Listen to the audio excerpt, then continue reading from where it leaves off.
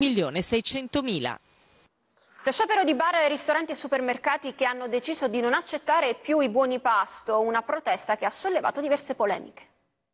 Buoni pasto? No, grazie. Per la prima volta bar, ristoranti e supermercati non accettano i ticket, una protesta di un solo giorno, ma che solleva polemiche. La motivazione va cercata nelle commissioni troppo alte, fino al 20%, applicate dalle società emittenti del benefit e che diventano difficili da sopportare, soprattutto in questo periodo dove i costi dall'energia alle materie prime sono aumentati notevolmente. Sotto i riflettori ci sono le gare bandite dalla pubblica amministrazione, Federdistribuzione distribuzione e FIPE Confcommercio chiedono un intervento tempestivo del governo. Vi chiediamo una revisione radicale del meccanismo di gara che assicuri il mantenimento del valore nominale del buono pasto lungo tutta la filiera ripristinando quello che succede in tutta Europa, e cioè che il costo del servizio venga sostenuto da chi lo richiede, che ha già tra l'altro altri risparmi, e non invece da chi lo rende, come succede in Italia.